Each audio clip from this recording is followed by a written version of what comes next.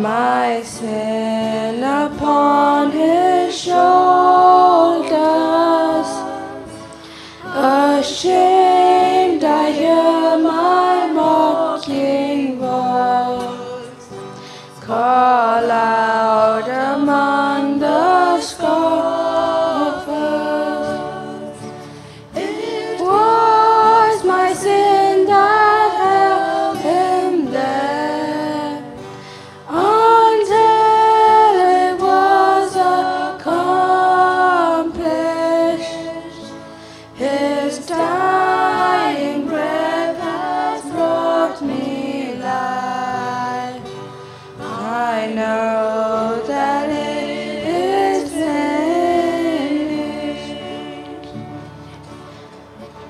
I will not boast in anything.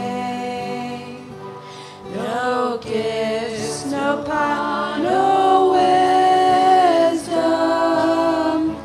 But I will boast in Jesus Christ, His death.